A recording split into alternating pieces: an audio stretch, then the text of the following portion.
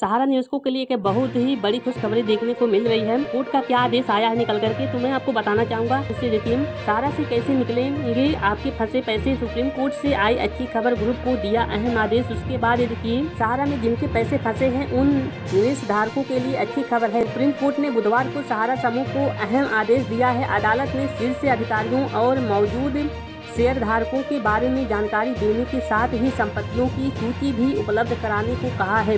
अदालत ने कहा कि इन संपत्तियों को बेचकर दस हज़ार करोड़ रुपए जुटाए जा सकते हैं। उसके बाद देखिए, एजेंसी नई दिल्ली सुप्रीम कोर्ट ने बुधवार को सहारा समूह से कहा कि वह अपने शीर्ष अधिकारियों और मौजूद शेयर धारकों के बारे में जानकारी देने के साथ ही उन संपत्तियों को सूची भी उपलब्ध कराए, जिन्हें बेचकर दस हज़ार करोड़ रुपए जुटाए जा सकते हैं। निवेशकों को पैसा लौटाने के लिए यह राशि सेवी सहारा रिफंड खाते में जमा कराई जानी है। शीर्ष अदालत ने इकतीस अगस्त 2012 को सहारा समूह की कंपनियों Sahara India real estate corporation limited S I R C L और Sahara housing investment corporation limited S H I C L को निर्देश दिया था। कि निवेशकों से एकत्र की गई राशि को तीन महीने के भीतर पंद्रह प्रतिशत ब्याज के साथ सीबी को वापस करें। पैसा लौटाने के लिए समाधान निकालेगी अदालत जस्टिस संजीव खन्ना एवं सुरेश और बेला एवं द्विवेदी की पीठ ने बुधवार को कहा कि निवेशकों का पैसा लौटाने के लिए न्यायालय को कोई व्यवहारिक समाधान निकालना होगा क्योंकि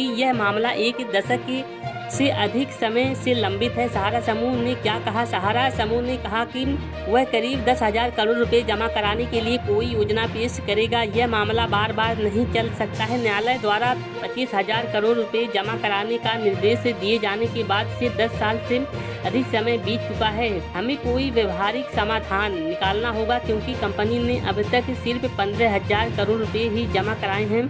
ग्रुप की तरफ़ से पेश हुए वकील कपिल सिब्बल। जस्टिस खन्ना ने कहा कि सहारा समूह की ओर से पेश वरिष्ठ अधिवक्ता कपिल सिब्बल ने मंगलवार को बताया कि कंपनी शेष राशि जमा कराने के लिए कार्य योजना प्रस्तुत करेगी। सेवी की ओर से पेश वरिष्ठ अधिवक्ता अरविंद दातार ने कहा कि 2023 में सुब्रत राय के निधन के बाद कोई नहीं जानता कि कंपनी का नेतृत्व कौन करेगा और अदालत के आदेश के अनुपालन में वह पैसा कैसे जमा करेगी।